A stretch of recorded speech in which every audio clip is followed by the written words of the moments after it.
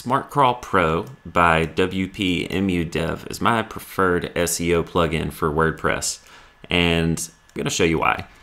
Um, I've made a previous video um, to this one outlining the general SEO settings here that you find, uh, but this video we're going to talk about why I like this plugin for its social settings. Now, if you've ever on Facebook tried to share a link, or maybe on Instagram or anywhere else really that operates on a feed-based system, if you drop a link into uh, a new post, it'll fetch a preview of what that post is going to look like. And if things are set up uh, correctly, you should get some options uh, for any images that you want to have um, as a potential uh, image that you'd like to show for that post. There may even be some descriptive text that you would like to be pulled in as well whenever you're sharing your link.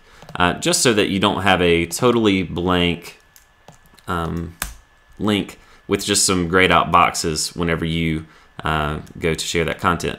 Um, if I X out of that, I'm just going to refresh this page so that I get um, a fresh go at this. I'm going to now uh, plug in a URL for a demo page on my site where I've not filled in any content whatsoever. And so let me just do that while that page is loading up. Um, I know I've got a page called process that I've not yet filled in. So this page, I've not uh, given my SEO plugin uh, anything to work with. I've not out, uh, outlined any images or any descriptive text that I want pulled in.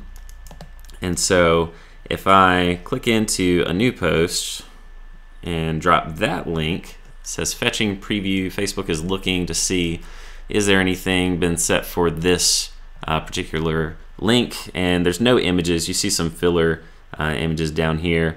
Uh, you see the title of the page, but you don't see anything else. There's no um, featured image that has been set to go along with the page and that kind of thing. Um, now, of course, I could you know type some text in here and I could attach an image manually, but um, it's a lot it's a lot uh, more user friendly if you can have that stuff already set up and pulling in for you. And the way that is done is through what is called Open Graph. Uh, if I go back to the back end of my page um, here in SmartCrawl, so we're looking at my home page, um, and you see Open Graph has been enabled for uh, this post. And even this little description says uh, this is used on many social networks such as Facebook. It's used for uh, Twitter. It's used for different feeds like uh, feed platforms like uh, something like Reddit or um, things like that. Uh, and it's basically just a format that's supposed to be more or less universal for uh, sharing purposes. Whenever you share a link, for instance, in iMessage, if you're texting someone, if you if you share a link, the fact that it can display an image or some descriptive text that goes along with it, rather than just showing the naked link, um, that's an example of Open Graph. Um, being used to display some extra information along with that link. Just makes it a little more attractive to, to click and tells the user a little bit more about what they'd be getting into if they click on that link. So you see it's also been um, enabled down here for Twitter and uh, it's used for some other things as well. But you can just about assume that if you've set things up on the back end of your plugin here, anything that uses Open Graph will pull that information in whenever you select it. Um, now, if we scroll down here, first thing I want to show you is actually images, so featured images. So I've dropped a few images as options. If I were to share my homepage on social media, um, then I'm given four images here that I have manually selected. If I wanted a different image uh, to show up here, I could just say select featured image. I would get some options from uh, my media library in WordPress, and I could just set another image to be picked up there. And anywhere where it is appropriate, you hear my dog's claws over here. Uh, anywhere that's appropriate. Uh, if Facebook says, you know, hey, this would be a good spot to actually display the title here or display uh, this text content, then that information is going to be plugged in there. Um, now, let's do this. Let's look at um, the sharing debugger. So Facebook um, has this tool called the uh, sharing debugger. That's one of their tools for uh, developers, but you can get to it just as easy. Just Google it. Um, and you're able to see whenever your website or whenever that link that you put in here so I've just entered in my regular um, my homepage link uh, whenever you've clicked that it's going to pull you into, it's going to show you what all information has been pulled up for that link. So you see some of that descriptive text that I included. That's really just part of my meta description for my site. You also see the title of the page itself. Um, you get any history of likes, shares, comments on that page. And you also get some open graph information. So based on some of the tags that have been added to this page through that Smart Crawl SEO plugin, um, we've got some of these open graph properties uh, as indicated by the little letters O and G here. So uh, the Open Graph URL, the type of media that's being shared here, if it were uh, an audio file or if it was a video from YouTube or something, it would indicate the type of uh, content found at this link. You get the title page, you get uh, some of the images that are options here. So this is just a link to uh, the main image being showed up here and uh, any other information that might have been included as uh, part of your Open Graph data. Uh, there's other information you can click here to see everything else.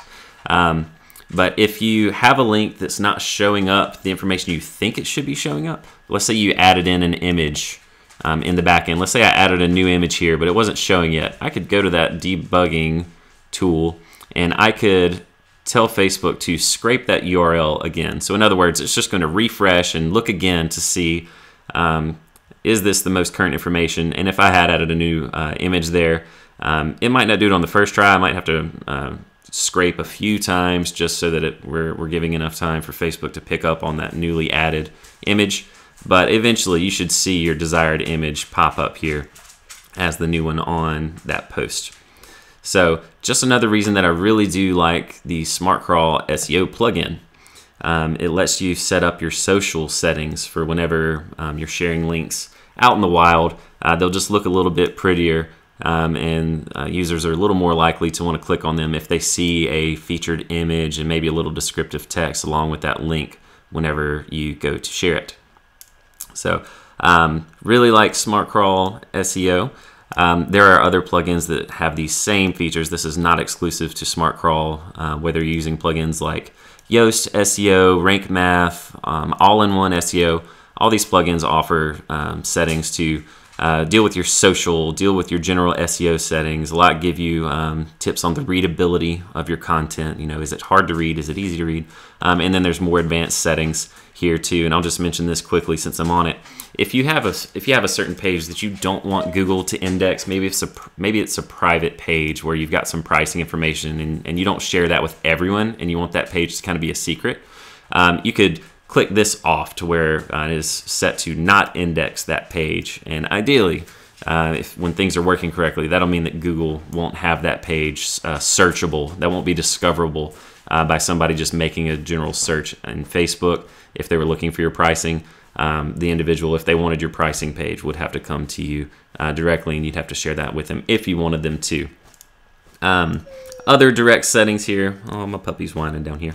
Um, a couple of other settings down here if you uh, wanted to fool with those, but just wanted to show some of those main points, mainly on the social aspects of SmartCrawl.